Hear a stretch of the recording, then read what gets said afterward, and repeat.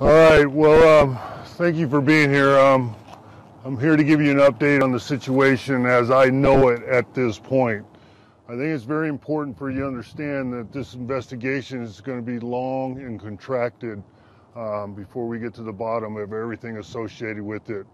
Uh, but it's one of the things I wanted to update you with is we have located the vehicles that I had put out in the first briefing, and we believe we, we're uh, confident but not 100% sure we have located the female person of interest.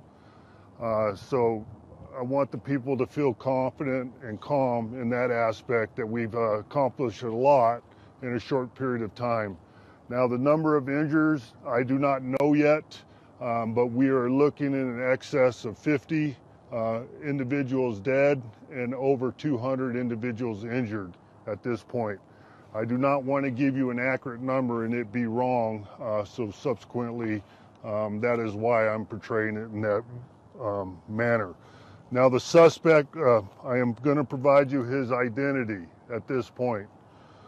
His name is Stephen Paddock. Um, last name spelled P-A-D-D-O-C-K uh, with the date of birth of 4-9 of 1953. Um, as far his, as his history and background, uh, we haven't completed that part of the investigation yet, uh, but we located numerous firearms within the room that he occupied. And that's, like I uh, stated earlier, it's going to be a long and tedious um, investigation. Now we're bringing in all the resources of the FBI to assist us in this investigation, um, in particular to their victim witness advocates and their CSI folks to help us process the scene and ensure that we're getting all the evidence that we can possibly uh, uh, obtain. Now, furthermore, I want to provide you the phone number that I said I would provide in the first briefing.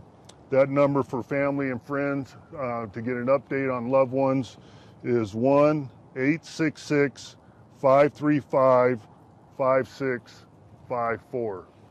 One more time, 1 866 535 5654.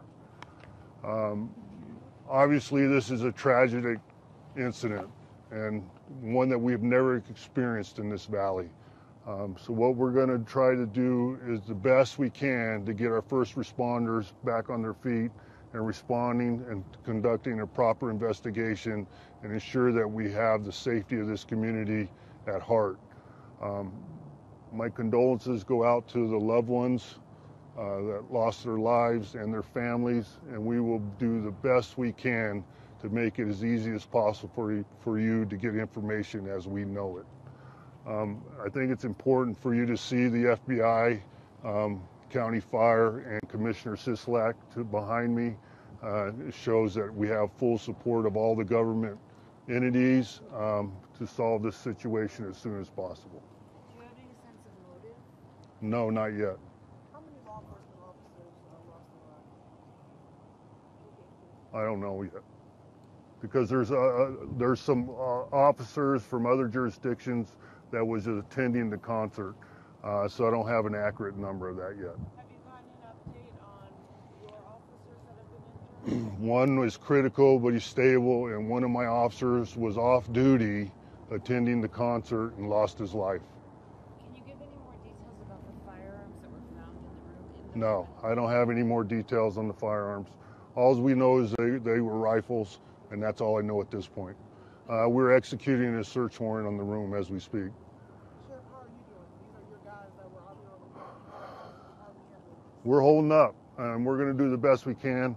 Uh, and I don't want to say that's what we're paid to do. It's because nobody's paid to do what we're experiencing right now.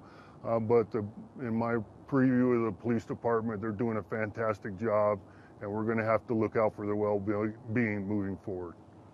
You said there were numerous other firearms found in Stephen Paddock's room. Was that in his home or was that in the room? in the room, in the room of the hotel. Uh, we have officers at his uh, residence.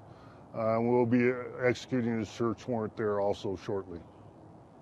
How does the city recover from this? I mean, moving forward, how, how That's a hard question to answer at this point.